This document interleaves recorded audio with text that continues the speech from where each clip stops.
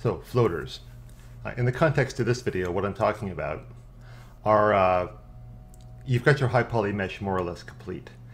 Uh, but there's lots of detail you want to add, but you don't necessarily want to have to stitch it in or model it in.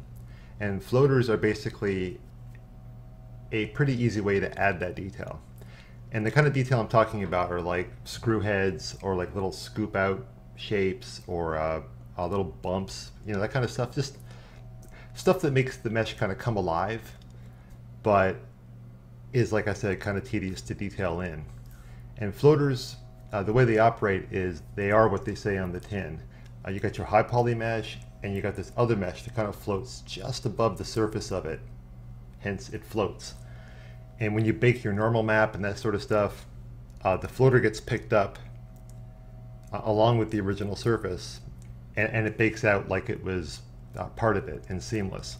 So we'll take a look at how that works here shortly.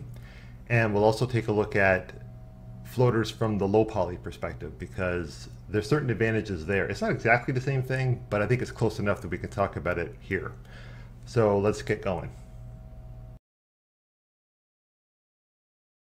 Okay, so for demonstration purposes, uh, this is the mesh I'm going to deal with. You know, it's super simple, but you know we're not here for a, a modeling uh, tutorial, are we? So you can see this is super, a super simple low poly mesh.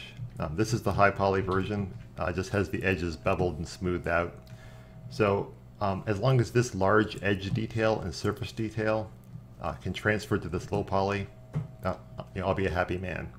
And so if we flip over to Substance Painter, uh, which is where I do all of my baking, uh, you can see that that is what's happened. Uh, I did the bake, everything looks good. The low poly is nice and shaded and smoothed out just the way I want it to be. So with that said, um, let's talk about what a floater is and how we can leverage it. So for this demonstration, I've gone ahead and I've added a couple of, of new elements um, that sit on top of the high poly. And you can see that these things are, excuse me, uh, if you look closely, you can see if I turn on wireframe, these are not actually stitched in. They're just sitting, uh, they're on top of the surface. They're, they're floating. And this applies to a lot of different kinds of detail. This big bump thing over here, I mean, if I don't need to see this prop from the side, like, like say this is you know inside of a recess or something, uh, having a large floater like that that sticks up a long way is actually not a problem. Uh, as long as your bake cage uh, will extend far enough to get beyond that floater and have it be included uh, in your projection, you're fine, right? So this big thing is a floater. These little vent things are floaters. And stuff like screw heads are floaters too. You know, this is not actually part of the mesh, but it's sitting up there. And we can, uh, you know, make as many of these, you know, as we want to. We can just have a whole row of them along the bottom of the mesh. Uh, and they'll all bake out down there like they were stitched in, but it's so much less work. So uh, my weirdness is making me rotate these randomly. And so I'm going to pop this over to Substance Painter and show you how the rebake looks. So back in Substance Painter, and you can see that I've I've rebaked the low poly mesh and it's picked up uh, all that floating detail uh, just wonderfully. And uh, this looks as if you know you had modeled in, but you didn't, of course. Now, obviously, the drawback, and we talked about this earlier, is that you know this nice rounded piece I put up here, and these screw heads and that kind of stuff, uh, they're not part of my silhouette. You know, they're just flat detail now but they're in the normal map and they look good. So it's really up to you uh, as an artist to decide when using a floater uh, is appropriate and when it's not. Obviously, one time that it's not appropriate is when the player will notice the silhouette change or the lack thereof. Or say this was some sort of like a big speaker console and you're doing a VR uh, experience and the player could get their head right down next to the surface. Well, these bolts are not going to hold up anymore. So you're, you're better off just modeling the bolts uh, and including them you know, in the low poly and all that. But you know that's the basics of it.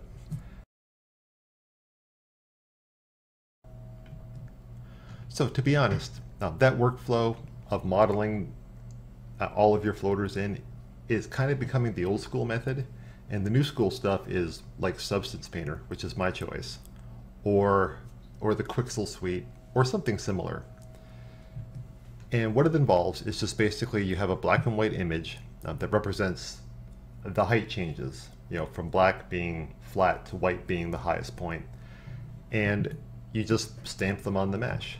So the way you do that uh, is you set up a fill layer over here, and on that fill layer we turn off, uh, for demonstration purposes, we're going to turn off everything except for height. Uh, you would normally do things like say, okay, you know, I, I, I'm, I'm stamping down bolts so they're also metal and they're shiny, but you know, you get the idea here. And I'll sc scrub the height uh, all the way up to the highest, just about as high as it can go. Now, for this, we're going to add a black mask to this layer because I don't want it to affect the whole mesh, and it's easier to put the alpha masks on the mask layer uh, as opposed to painting with them directly because it allows you to tweak it later uh, uh, uh, which we'll do here in a second. So let me get this down, this bolt alpha that I uh, that I imported, and bring this down to the same sort of level. And I'll just stamp them in here next to the old ones, next to the baked ones. You know, you can see this looks more or less the same. Uh, if you're hearing a bunch of noise, my dog is being weird. uh, so anyway, you see that those bolts that I stamped or, or, that I painted in there look basically the same as the floater bolts. So in terms of that aspect of it, there's really no difference between the two techniques. Now there is a nice advantage here uh, in that I can go into my fill layer that I had already set up and I say, well, you know, I don't want them to stick out quite that far, so I can adjust this slider down or up, and you can see them changing if you watch them there, and then I can go down and say, well, actually they should inset well, no, they should stick up. You know, and like I said, I can add metal to this and say, well, these should be metallic.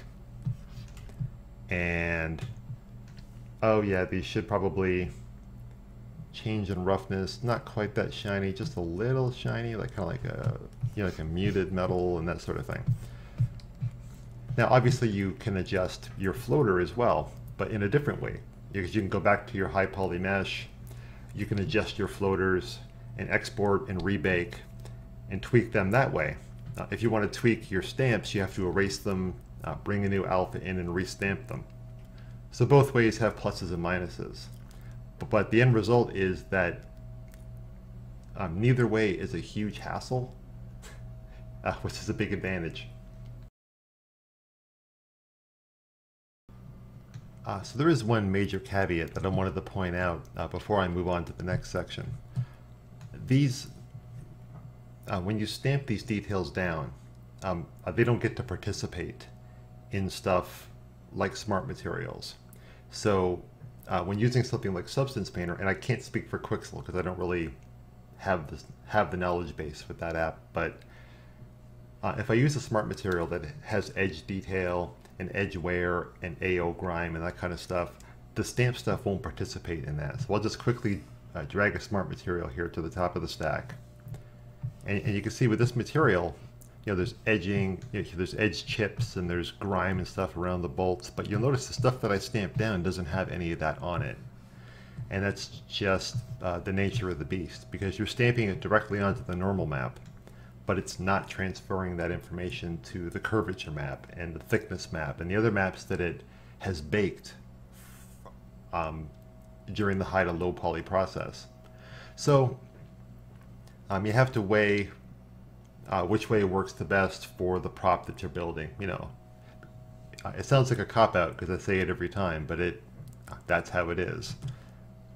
It depends, but it's good to have options, and there's two options right there to add some detail to your mesh.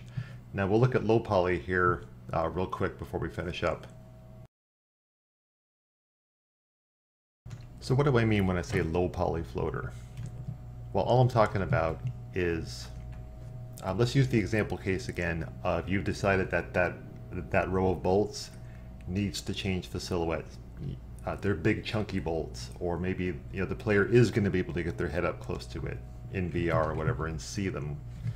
So you go ahead and you model them out and you bake them out like everything else. Now there's an inclination to make the low poly mesh watertight. So everything is stitched together, you know, into one one mesh that you could 3D print if you wanted to. But that's not always necessary. And in a case like this, you, you may sometimes want to go with this solution instead, which has the bolts modeled, uh, and they're baked as normal, but they aren't part of the underlying surface. The underlying surface is just one polygon. Now there's there's pluses and minuses to this. Uh, one of the pluses is that, like I said, it's one polygon. You know, there's one there, you know, but here there's eight. So it's an eight to one savings to float it on the surface. Now we're going to get back to that that cop out caveat again, but if your engine has specific lighting uh, requirements that requires watertight meshes, well, then you're going to have to make watertight meshes. Or if you find that you're getting weird cracks in the lighting or whatever because the stuff that's floating, the uh, the lighting engine is not quite precise enough to figure that out, so it shoots light between cracks and stuff.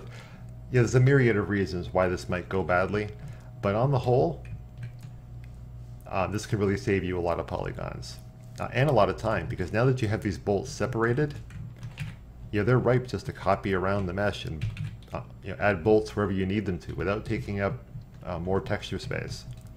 So, you know, um, you can use this method to its strengths or uh, ignore it if it doesn't appeal to you. Thanks.